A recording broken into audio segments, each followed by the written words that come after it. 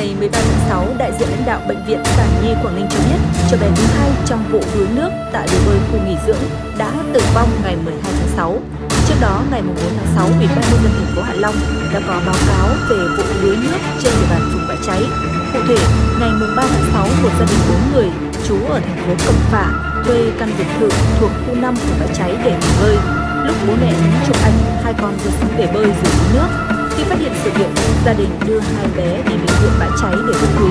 Sau đó hai trẻ được chuyển lên bệnh viện Sản Nhi Quảng Ninh để tiếp tục điều trị.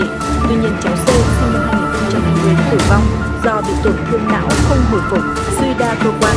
Gia đình đưa con về thành phố Cẩm Phả để làm hậu sự. Còn cháu A sinh năm 2017 bị ngạt tuần hoàn, ngừng hô hấp sau đuối nước được điều trị bằng máu, thở máy tại khoa hồi sức tích cực.